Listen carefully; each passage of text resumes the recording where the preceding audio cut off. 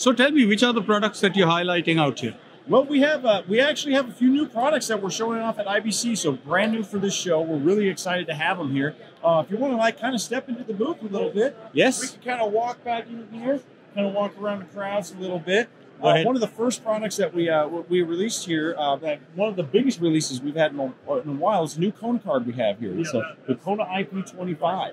Uh, this is our next generation uh, Kona IP essentially. So uh, when I say IP, I mean it is IP video. We're not talking SDI. We're not talking HDMI. We're talking video over IP. You'll see that on the board itself, there are two SFP cages in there.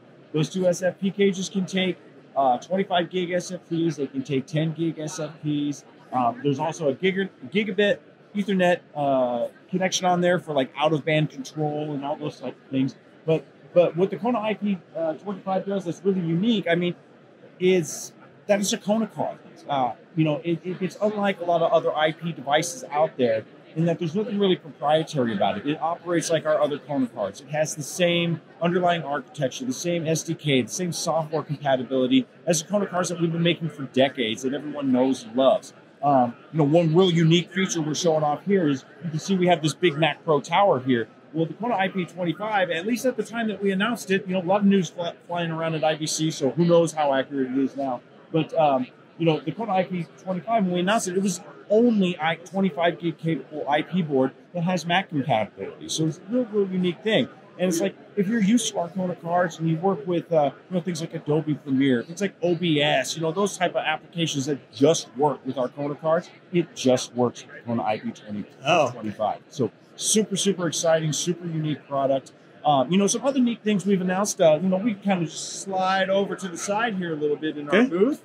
Um, we have here, you'll see our, our, our color box products. You know, people know and love our color box. It's one of the one of the coolest, kind of most innovative products we've ever made. It's one of those things where, you know, we listen to our customers and we, we like to make what our customers need, but every now and then we come up with just something that no one's ever come up with.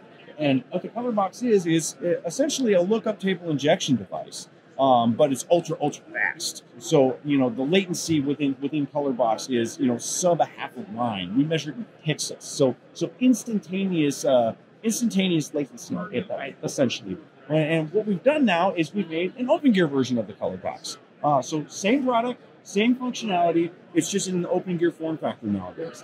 Um, so both are still available. The new color box, the open gear, the open gear version of the color box will be available uh, uh, pretty soon here in the next uh, ne- ne- next couple of months. Available soon is what I like to say.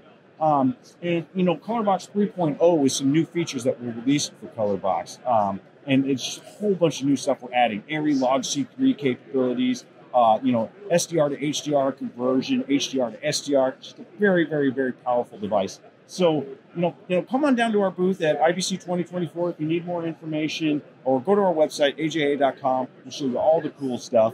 Uh, but we're really, really excited to show these new things off at the show.